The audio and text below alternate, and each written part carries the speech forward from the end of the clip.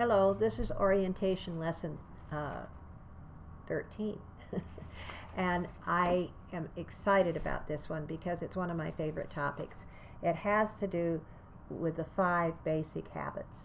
A few years ago, the church did a study. They wanted to know what kept young people particularly active in the church um, throughout their lives. What habits had they developed? And they found out that it was scripture reading, personal scripture reading, and personal prayer. That's where the five basic habits come in. If you can see these pictures here, we have over here is morning prayer, reading from the Book of Mormon, daily service, reading from another scripture, and evening prayer. This is what we are asking our students to do.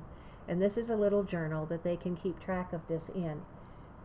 Saying their morning prayers, reading from the Book of Mormon, even if it's just the Book of Mormon stories, every day, doing a daily act of service, reading from another scripture, and saying their evening prayers. Those five things, those are the five basic habits. We ask them to do this in conjunction with the information that we were able to obtain from the church study that it does keep them active.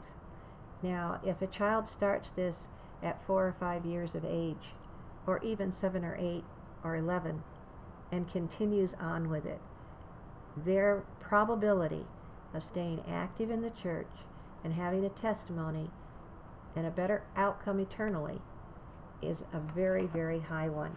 This journal lasts for about eight weeks and then you can do another one. There's a PDF where you can print off this journal.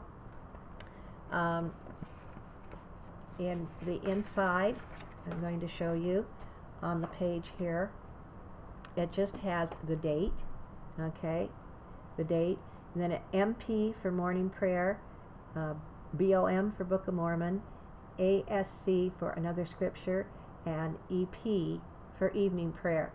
So the child can either check, put a check through it, can put a, can circle it, uh, put an X over it if they want to, box it in if they want to, some indication that on this particular day they did do those things.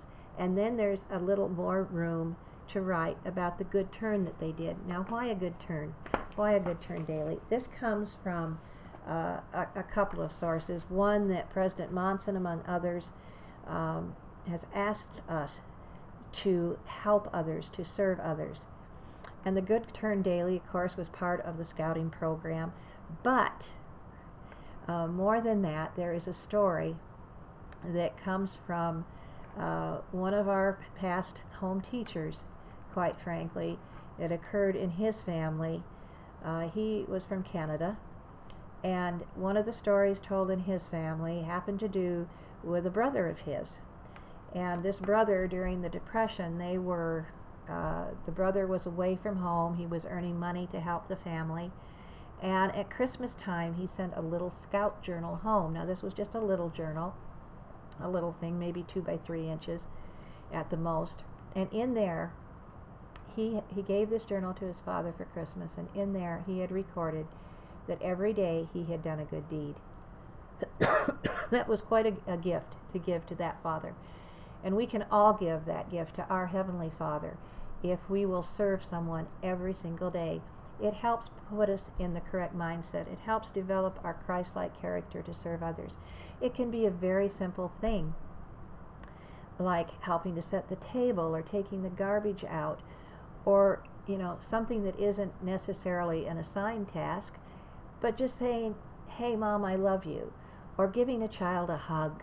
Did you know that we need hugs, and you'll find this out later, but we need uh, about 12 hugs a day to really thrive, four to survive, uh, uh, eight to heal, and 12 to really thrive a day. So even giving a, somebody a smile as you pass them on the street is doing a bit of service.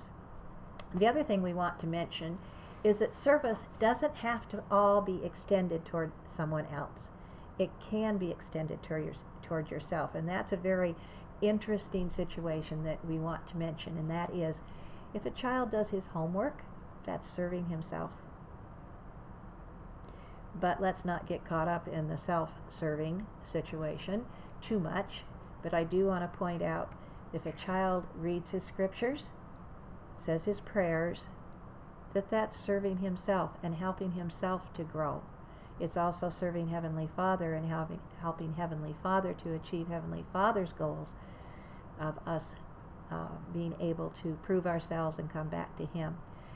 Let's not get too hung up on that self service type of idea, but it is a service to ourselves. And if that's all we can do in a day, that's okay. But we should try and do a service for somebody else every day too. So those are the five basic habits.